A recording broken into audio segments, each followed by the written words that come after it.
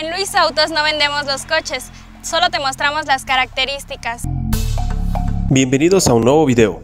En esta ocasión les traemos un versus entre el Mazda 2 Sedan contra el Honda City, ambos en sus versiones intermedias. Y bueno amigos, comenzamos en el exterior en donde el Mazda te ofrece faros LED, luces automáticas, luz diurna, calaveras en halógeno, espejos eléctricos, rines de aluminio de 15 pulgadas y sensor de lluvia.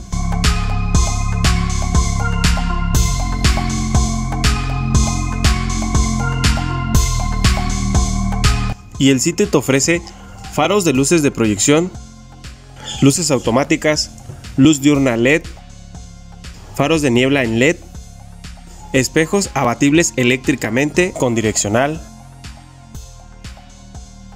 calaveras LED y rines de aluminio de 16 pulgadas.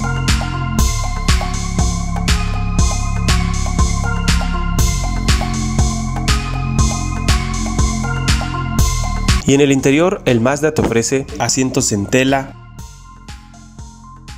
aire acondicionado manual,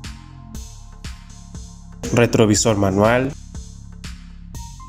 volante en piel con controles de audio y teléfono, freno de mano mecánico, botón de encendido y su volumen de la cajuela es de 410 litros.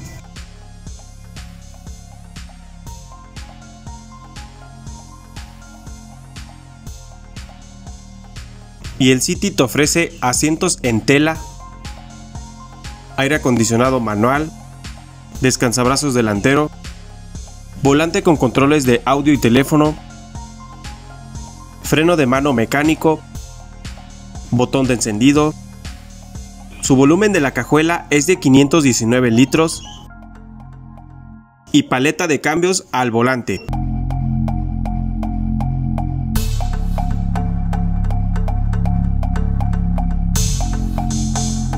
Y pasamos en la tecnología donde el Mazda te ofrece llave inteligente, una pantalla de 7 pulgadas con 6 bocinas, USB, Bluetooth y SD, Android Auto y Apple CarPlay y control central de mando.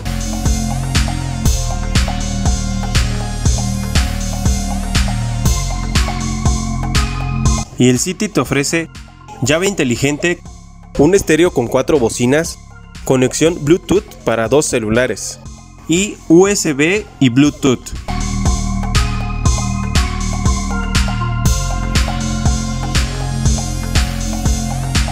Y en el motor el Mazda te ofrece un motor de 1.5 litros a 4 cilindros, con una potencia de 109 caballos de fuerza a 6.000 revoluciones y con unas libras-pie de torque de 104 a 4.000 revoluciones. Su rendimiento combinado para la transmisión manual es de 19.5 km por litro y para la transmisión automática es de 20.2. Su transmisión es manual de 6 velocidades o automática de 6 y cuenta con modo Sport para la versión automática.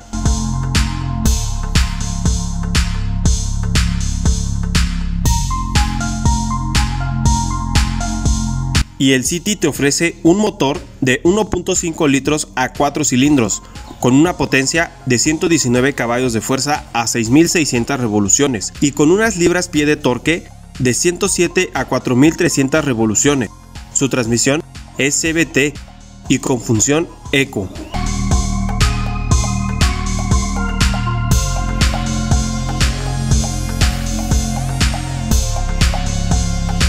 Y pasamos en la seguridad, en donde el Mazda te ofrece 6 bolsas de aire, control de estabilidad, freno de disco delantero y tambor trasero, ABS, sensores de reversa y control de tracción.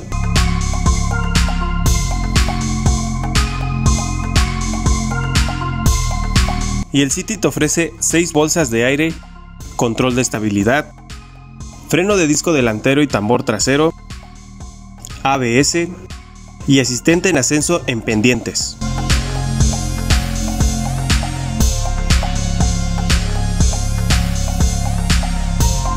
Y en el apartado de los precios, el Mazda en su versión manual te cuesta 323.900 pesos y en la versión automática te cuesta 333.900 pesos. Y el City en su versión CBT te cuesta 348.900 pesos, dando una diferencia de 15.000 pesos, en donde el Mazda es más barato. Y en el apartado de la garantía, el Mazda te ofrece una garantía de 3 años o 60.000 kilómetros y el City te ofrece una garantía de 3 años o 65.000 kilómetros. Y por último, en el apartado de los seguros, el Mazda en su cobertura amplia te cuesta 16.321 pesos y el City en su cobertura amplia te cuesta 17.439 pesos, dando una diferencia de 1.118 pesos, en donde el Mazda es más barato. Y bueno amigos, ahí lo tienen. ¿Ustedes cuál se comprarían? Haznoslo saber en los comentarios.